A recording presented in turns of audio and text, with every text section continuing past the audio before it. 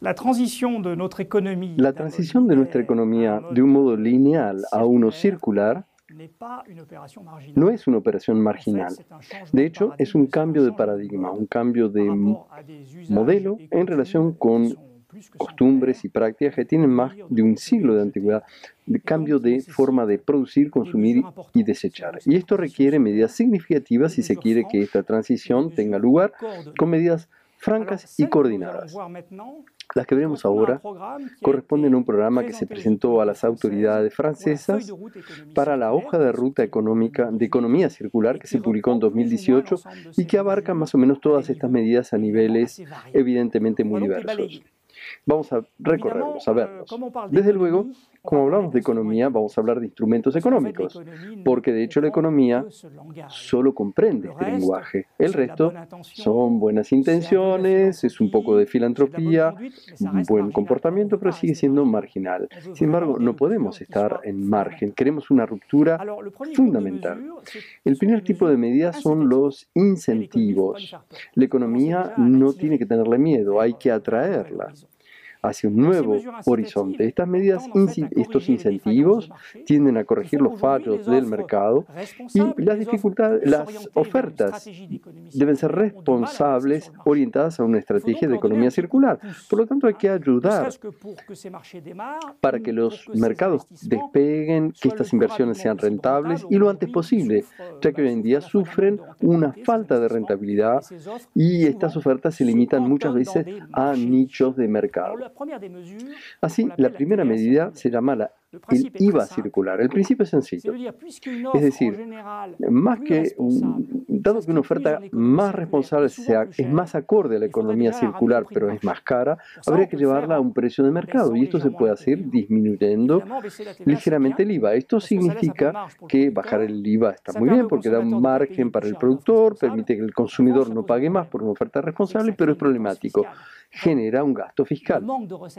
De hecho, la falta de ingreso fiscal digamos, el, gasto, la autoridad pública lo considera como un gasto fiscal. Para justificarlo hay que hacerlo con un hecho muy sencillo, y es que el desarrollo de estas nuevas ofertas que tenían un IVA reducido son ofertas que reducen las externalidades, que son costes, que no son soportados ni por el productor ni por el consumidor, sino que descansan en las autoridades públicas y generan un gasto público. El reto es crear, desde luego, un gasto fiscal vinculado a la reducción del IVA, pero rápidamente obtener una reducción también del gasto público a través de una reducción de los costes de decontaminación, de daños, etc.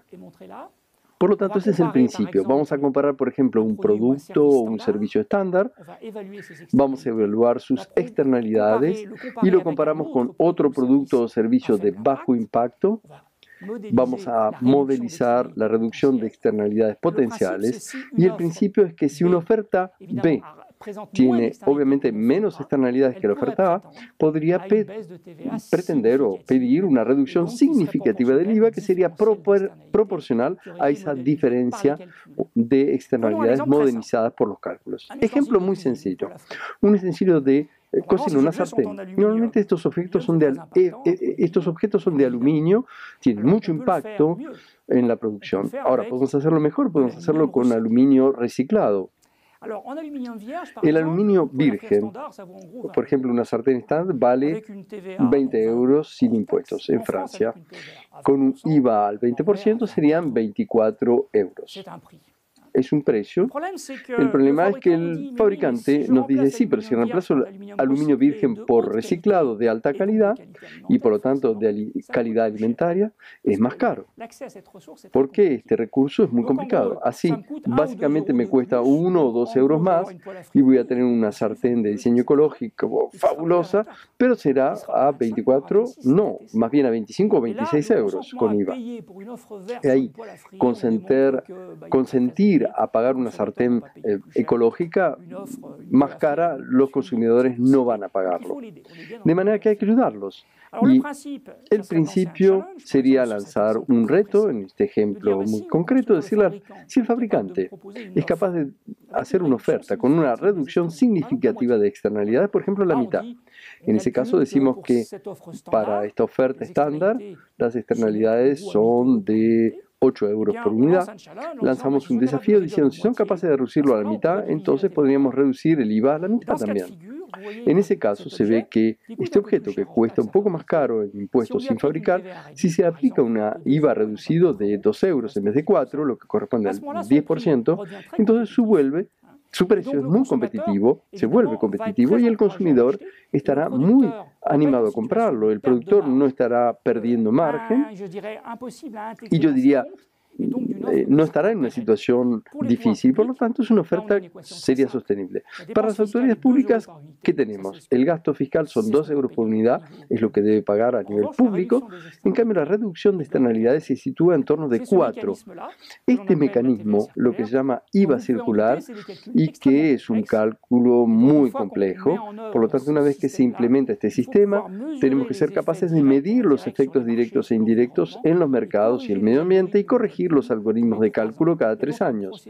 Por lo tanto, existe un proceso de revisión, de gestión del proceso para rever las condiciones de asignación de este tipo de medidas económicas. Otro mecanismo que estamos considerando se refiere más a, los, a la contratación pública. Los mercados públicos, por su actitud, pueden o no favorecer que aparezca una economía circular. El proceso ya se ha estudiado, simplemente habría que aplicarlo. Los textos europeos lo piden, pero los países miembros no cuentan con los instrumentos necesarios para poder aplicarlos.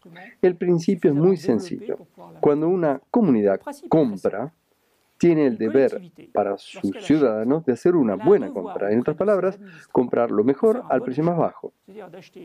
Obviamente cuando decimos, sí, pero podrías comprar ofertas o productos responsables, dirá, sí, estoy dispuesto a comprar servicios responsables, pero si es más caro, mis electores no lo querrán porque dirán que no he preservado sus intereses. Por eso, en esto hay que darles un instrumento que permita justificar que en algunos casos aparentemente comprarán más caro, pero globalmente para la comunidad no es más caro. Esto se llama una licitación de costes de ciclo de vida.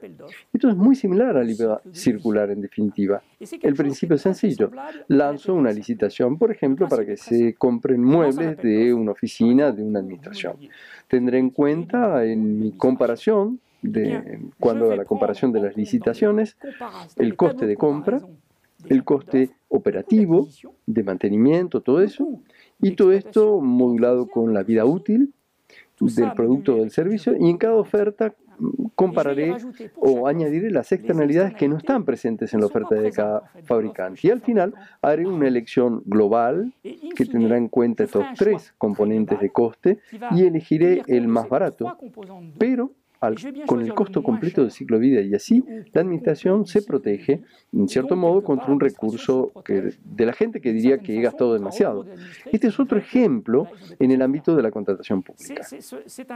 Ahora, me dirán, sí, el tema es interesante, pero algunos actores públicos eh, van a querer decir algo sobre esto. Dirán, sí, la reducción de externalidades es una reducción de costos públicos, pero eh, será al final, no tenemos garantía de que realmente aprovechemos de ello de inmediato, etcétera, etcétera. Y en general la administración pública, en particular el Ministerio de Hacienda, razona en presupuesto anual. Tengo un presupuesto de este año. El problema de estas medidas es que crean un gasto inmediato para un beneficio futuro. Y eso es difícil de aceptar. Estas dos medidas, y podría haber otras medidas, las hemos combinado con dos medidas vinculantes y contributivas. La obligación, ¿por qué? Porque siguen forzando buenas prácticas, pero a la vez son contributivas porque recauda fondos inmediatamente para iniciar o compensar, mejor dicho, ese déficit inmediato vinculado al gasto fiscal. Estas dos medidas claramente son aumentos de impuestos un impuesto general sobre las actividades contaminantes y en particular el impuesto sobre los residuos o desechos, los vertederos, la incineración de residuos, etc.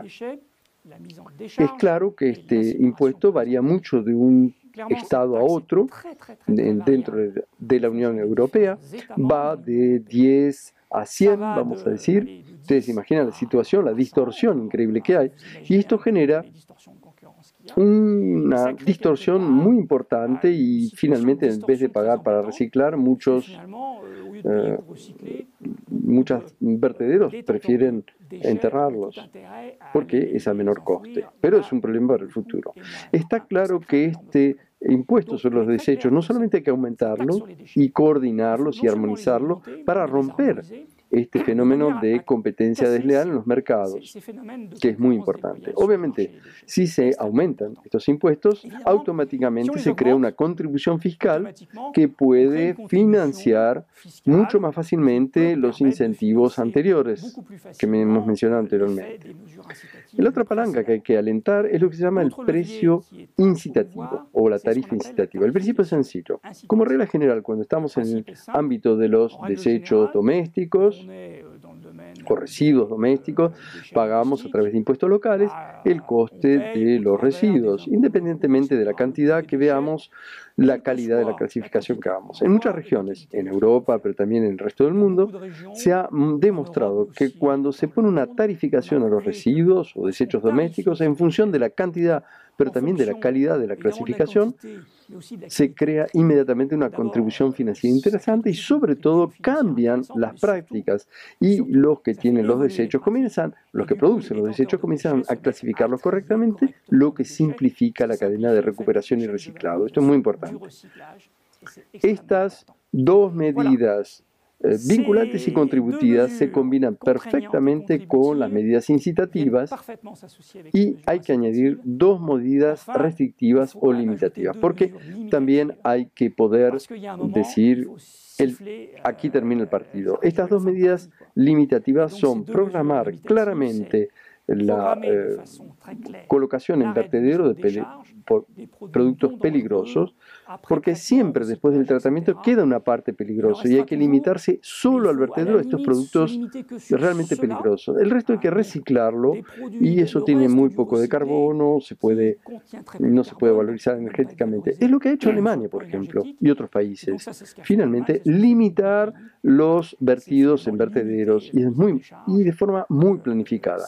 Por otra parte, es importante también obligar a algunos sectores a que incorporen niveles de materias primas recicladas en sus actividades. Eso se hace muy bien en la industria de la construcción, en muchas áreas, se está empezando a hacer un poco en lo que es el, empaquetado. Y una vez que se hace de forma voluntaria, es muy importante que las autoridades públicas eviten que se vuelva atrás y que esto sea obligatorio por etapas. Todas estas medidas crean un enfoque sistémico, una verdadera planificación estratégica para la transición hacia una economía circular. A esto hemos añadido una séptima medida que es una medida mucho más social y es el ingreso de transición ecológica.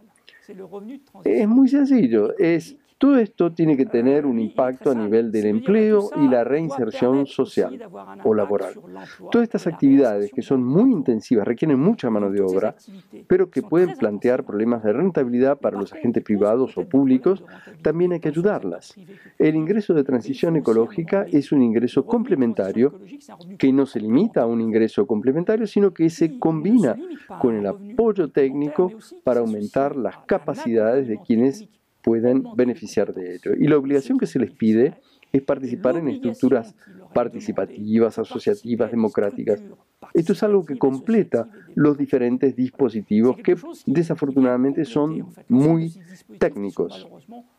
Ahora, se analizan brevemente todas estas medidas, vean este cuadro, una recopilación, crean un conjunto muy coherente, muy estratégico, en el que estas medidas se completan unas a otras y de hecho se respaldan en materia de costes y gastos con horizontes temporales diferentes. Así, por ejemplo, una vez más, los aumentos de impuestos financian el déficit a corto plazo de las medidas de, de incentivo.